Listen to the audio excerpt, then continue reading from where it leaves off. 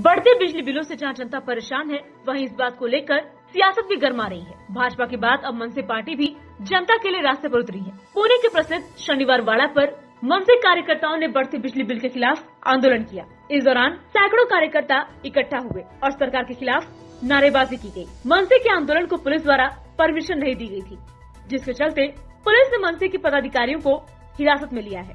मनसे party का ये आंदोलन शनिवार वाड़ा से लेकर जिलाधिकारी कार्यालय तक मार्च निकला, जाने वाला था। लेकिन कार्यकर्ता और पदाधिकारियों को पहले ही हिरासत में लिया गया। फारस खाना पुलिस ने मनसे के कई नेता और कार्यकर्ताओं को पोस्ट थाने में बैठा कर रखा है। इसी बात से गुस्साए मनसे के कार्यकर्ता भी फराज खाना पुलिस थाने के बाहर धरना दे रहे हैं। इस धरने से परिसर में ट्रैफ़िक जाम हो चुका है। Bureau report V news Pune, Maharashtra.